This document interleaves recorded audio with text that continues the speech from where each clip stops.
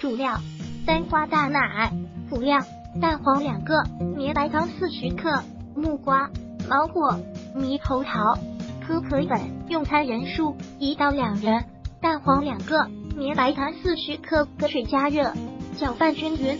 花奶打发，把蛋黄液慢慢加入打发的奶油中，搅拌均匀。喜欢的水果打成泥即可，或是任何喜欢的可可粉、绿茶粉之类的。我用的是木瓜、芒果。猕猴桃和可可粉，打碎水果的时候不要加水。第二张图片是挖冰淇淋球的勺子，在西安的话，可以在金海市场中通八号买到。当然上淘宝买也很容易才学会。把打好的果泥和可可粉五到十克分别加入第一步中打发的奶糊中，搅拌均匀，放入冰箱。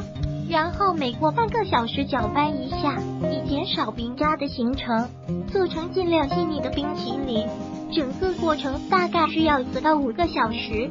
烹饪技巧：如果你只买到普通的全脂牛奶，这样做：一、蛋黄两个，绵白糖四十克，搅拌均匀；二、倒入二百毫升牛奶，小火慢慢加热，并不断搅拌，一直熬至浓厚，要熬得够稠。勺子背后能管后将指甲划过后不会立刻消失为止。如果喜欢本视频，请订阅本频道。